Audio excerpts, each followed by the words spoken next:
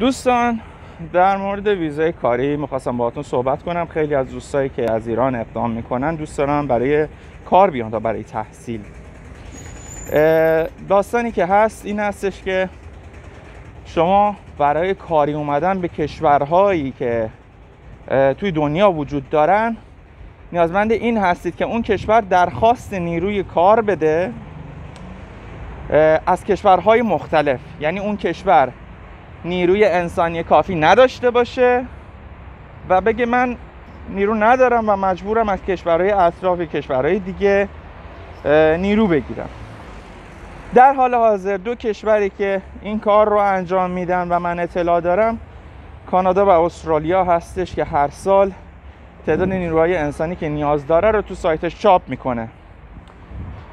با توجه به تخصص هایی که این کشورها نیاز دارن روی سایتشون تعداد ظرفیت که مورد نیازشون هست و چیزهایی که شرایطی که برای جذب اون افراد هستن رو توی سایتاشون منتشر می‌کنن.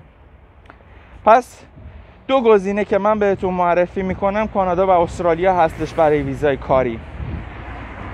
شرایط دیگه هم وجود داره برای کشورهای دیگه.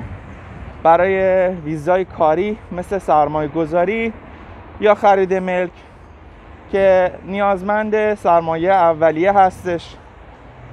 و خب خیلی از جوانایی که میان کشورهای خارجی بعضیاشون خب این توانایی دارن و بعضیا ندارن. بعضیا می‌خوان از مهارتشون استفاده کنن.